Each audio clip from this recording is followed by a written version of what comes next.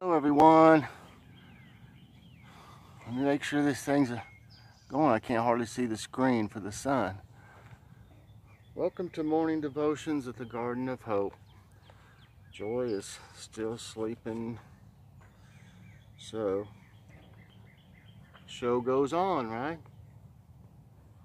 Okay, on our prayer list, Wendy Melendez needs prayer for her and her family for the loss of her older sister. My uncle Tom Clark had a heart attack uh, Thursday, but he'll be okay. Last Thursday he had one. Um, She's Crafty has an unspoken request. Joy Stewart prayers for her test that she had yesterday. And Joy, let us know when you find out your results. Thriftastic Mom's knees are bothering her. And Laura Lee has a, a lump in her abdomen. And pray that it's a hernia and not cancer. And Phyllis Stokes, pray that her chemo helps her cancer.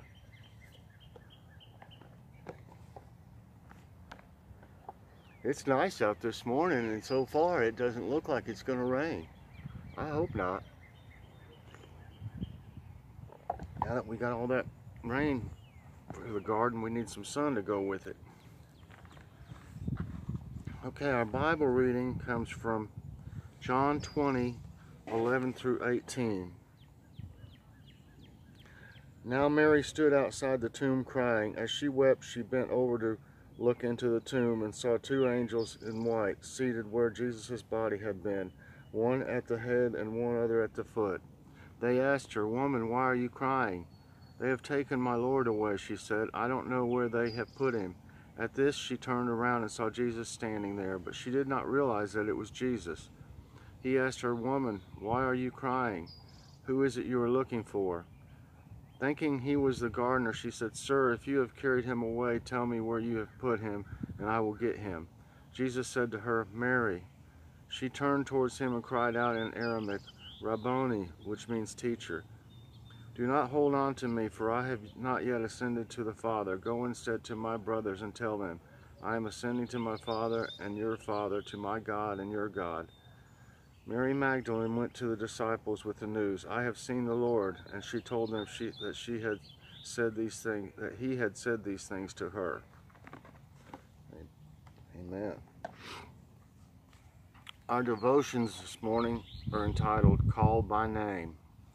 Advertisers have concluded that the most attention-grabbing word that viewers react to is their own name. Thus, a television channel in the UK has introduced personalized advertisements with their online streaming services.